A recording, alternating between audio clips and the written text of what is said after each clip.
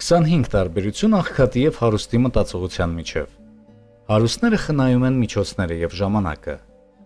Աղքատները վատնում են ամբողջը, ինչ վաստակում են։ Հարուստները վաստակածը ներդնում են։ Աղքատները շռայլ թեյավճար են թողնում։ Հարուստները այդ հարցում զուսպ են։ Աղքատները գնում են այն գնով, ինչ առաջարկվում է։ Հարուստներն ամենուր զեղչեր են պահանջում։ Հարուստ մարդու մոտ երբեք ավելորդ փող չի լինում։ Աղքատի մոտ այն միշտ կա։ Հարուստ մարդն իրեն թույլ չի տալիս անսպասելի գնումներ անել։ Ապահովված մարդու կանոնն է։ Մենք այնքան հարուստ չենք, որ էժան ապրանք գնենք։ Հարուստը ներդրում է կատարում այնտեղ, ինչը բերում է եկամուտ։ Աղքատը ներդրում է կատարում նրանում, ինչը պահանջում է ծախսեր։ Հարուստ մարդուն տուր 1000 եւ նա կվաստակի 10000։ Աղքատին տուր միլիոն եւ նա այն կկորցնի։ Հարուստը վերահսկում է իր ծախսերը։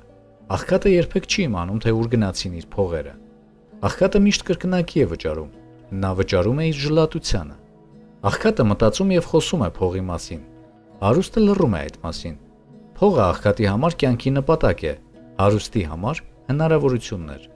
Աղքատներին առանձնացնում է շտապողականությունը եւ համբերության բացակայությունը։ Հարուստը ղեկավարում է փողերը, իսկ աղքատին ղեկավարում են փողերը։ Աղքատն ապրում է ապարիկով։ Հարուստը մտածում է կոնկրետ խնդիրներով եւ թվերով։ Աղքատ մարդն աղքատ է ամեն ինչում։ Իսկական հարուստ մարդը ամեն ինչ կորցնելով չի փոխվում։ Աղքատը հարուստին տանել չի կարողանում։ Հարուստն աղքատին չի էլ հակազդում, ռեակցիա չի տալիս։ Աղքատին փող տուր եւ նրա մեջ կբացահայտվեն բոլոր թուլությունները։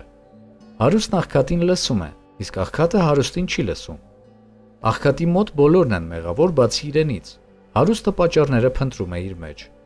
Ոչ բոլոր հարուստներն են իսկապես հարուստ յուրաքանչյուր աղքատի մեջ հարուստ է թաքնված